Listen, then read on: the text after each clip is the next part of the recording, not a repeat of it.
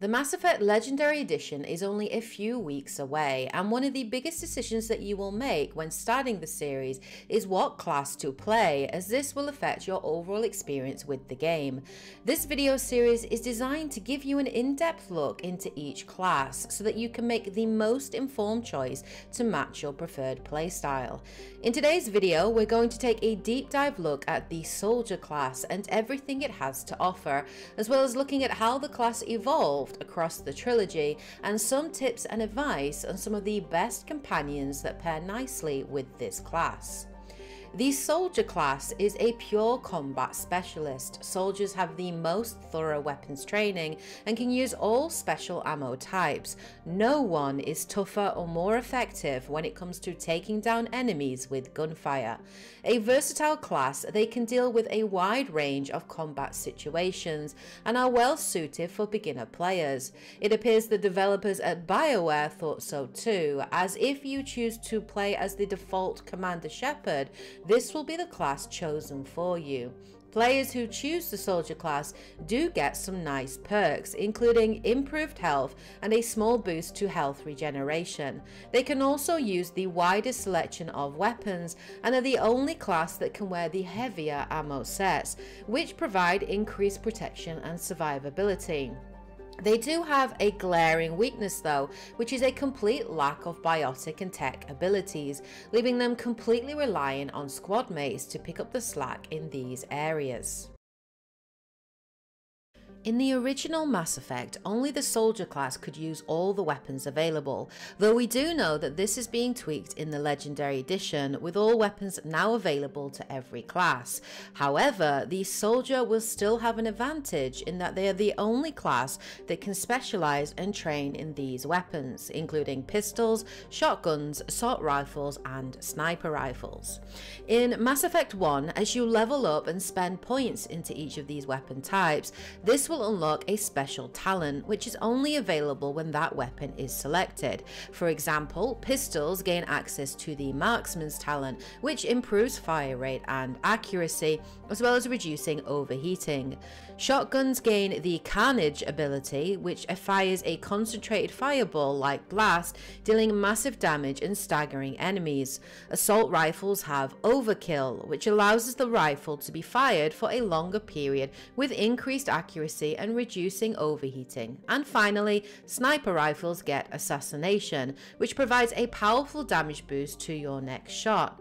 On a side note, it's worth noting that in Mass Effect 1, all weapons have infinite ammo, with the game employing an overheating mechanic while Mass Effect 2 and 3 opted for ammo clips instead, which are dropped by enemies or can be looted from ammo crates.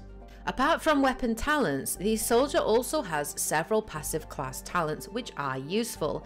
The combat armor tree increases your damage reduction and hardening, increasing your armor rating. You can also unlock shield boost which increases the recharge percentage for your shields per second.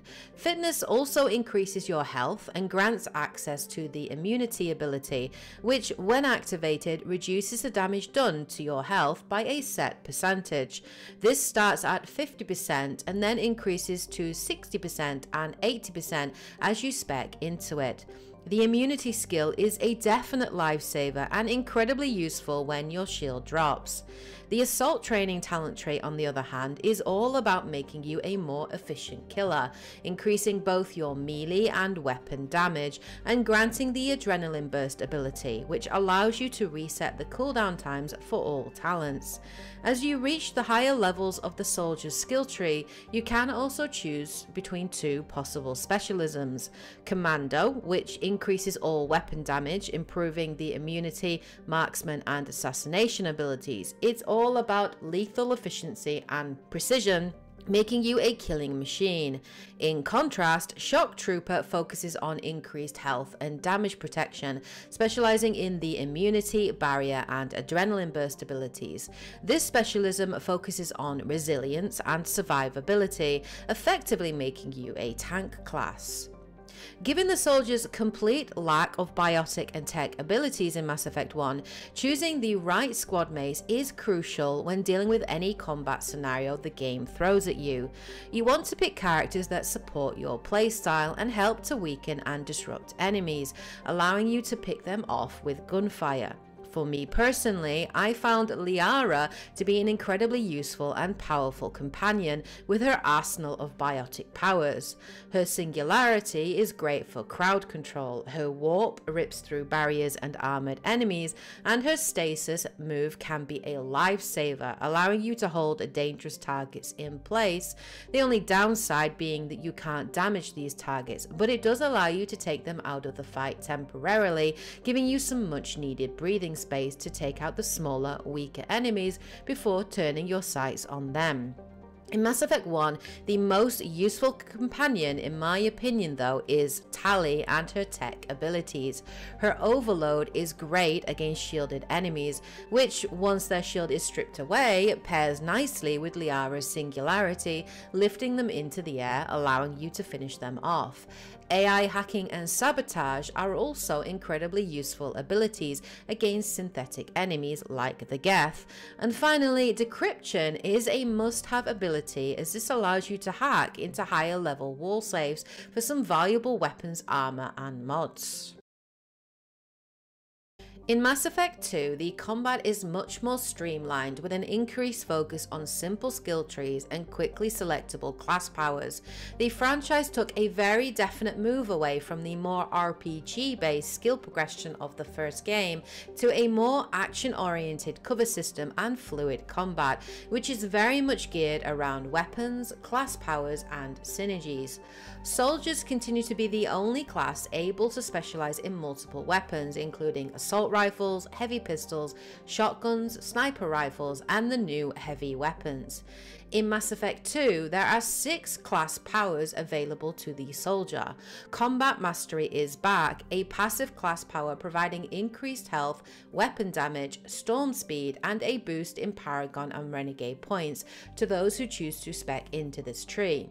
Just like in the first game, players can choose to specialize into commando or shock trooper roles, which act the same.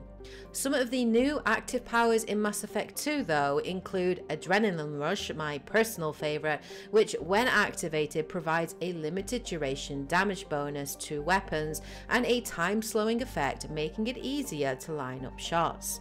Then there's Concussive Shot which when activated fires a concentrated high powered shot from your weapon dealing massive damage to the target and a chance to stun for a few seconds. Both powers act on a cooldown that can be shortened as you spec into each ability. In addition to these powers, the soldier class is also unique in that they are the only class able to use all special ammo types, a new feature introduced in Mass Effect 2. In Mass Effect 1, you could attach ammo types to weapons as mods, but these were not interchangeable easily in combat.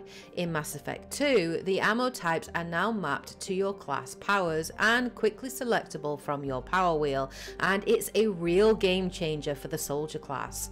Disruptor ammo causes additional damage to shields and increased damage to synthetic enemies, with a chance to temporarily disable them.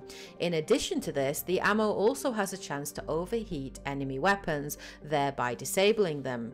Incendiary ammo causes fire damage to enemies, burning through armor and setting them on fire.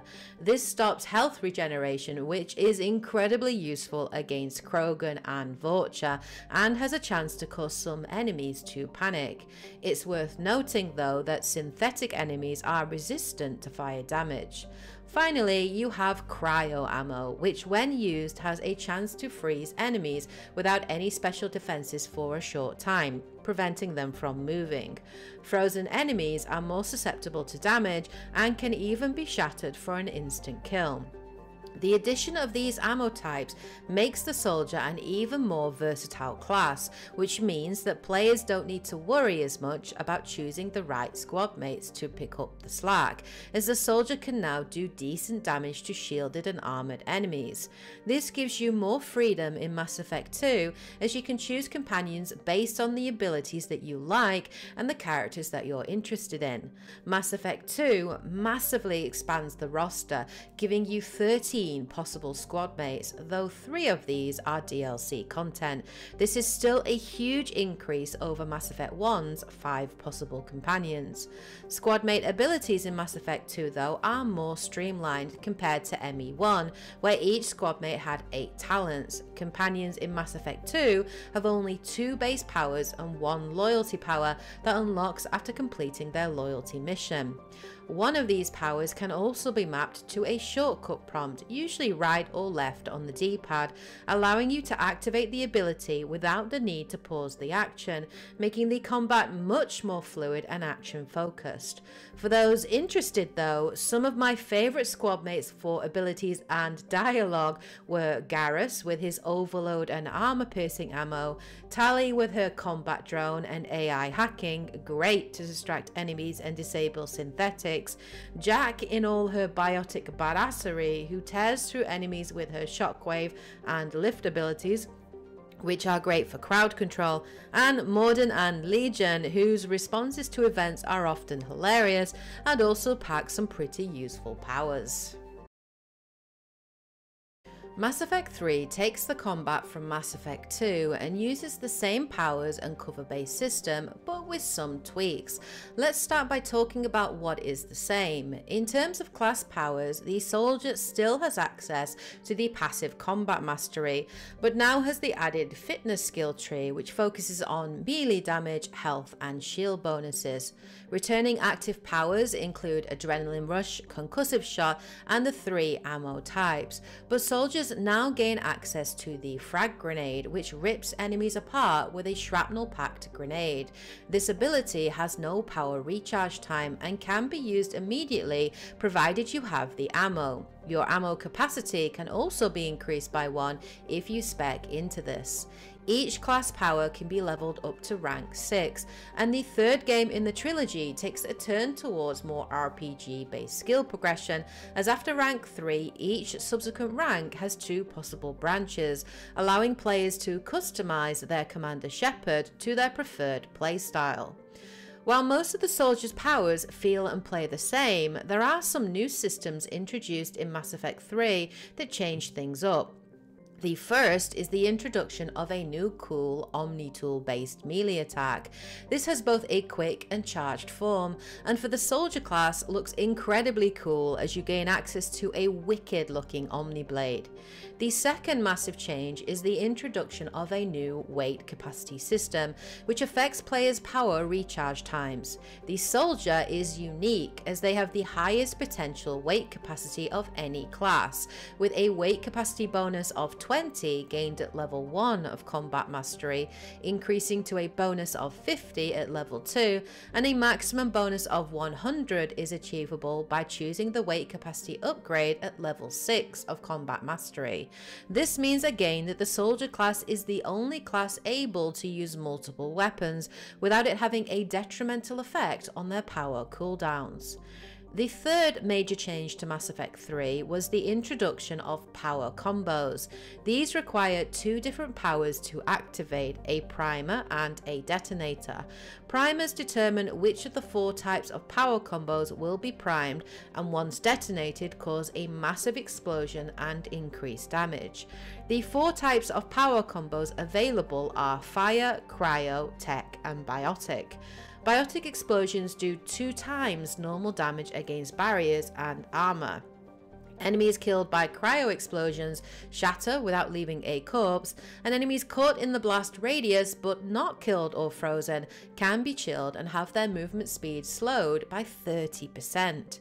Tech bursts create a blast of electricity that inflicts severe damage on the shields and health of nearby enemies and have a chance to stun them. Tech Burst also does 2 times normal damage against shields. And finally, Fire Explosions create a blast of flames that inflict damage against the armor and health of enemies. Fire Explosions also do 2 times normal damage against armor. I won't go into too much detail on the different combinations possible here as they are numerous, but I will flash up a couple here on the screen for you to see. The soldier class has several possible primers with their ammo types to set up combos and can also detonate many of these themselves with their concussive shot. However, it's a good idea to bring two squad mates with you that also give you plenty of useful options in terms of primers and detonators, and you have plenty to choose from as Mass Effect 3 gives you 7 regular and 11 temporary squad mates as part of the story. Each has 4 active and 1 passive power my personal favourites again are Liara with her crowd control moves of Singularity and Stasis, and her armour and barrier damage dealing warp and warp ammo. It's worth noting that Singularity and warp ammo are good primers, and warp is a quick detonator too. My second favourite companion is Tali with her defence and combat drones, energy drain and sabotage, which are useful against synthetic and shielded enemies. Her energy drain and sabotage are also good primers. And finally, EDI is my third favourite choice for her incinerate and overload abilities. Pairing her with someone who has cryoblast like Kaidan for example can also offer some powerful power combo options. So there you have it. There is everything that you need to know about the soldier class before jumping into the Mass Effect Legendary Edition. Let me know what you think of the soldier and if you have any more questions about the class, please feel free to post these in the comment section below and I'll do my best to answer them. Hope you guys found this video useful and informative. If you did, remember to show your support by liking, commenting, sharing and subscribing. I will be back again next week with my next video in the series which will focus on the Adept. So look forward to that. Have a great week guys and girls and as always, happy gaming. I should go.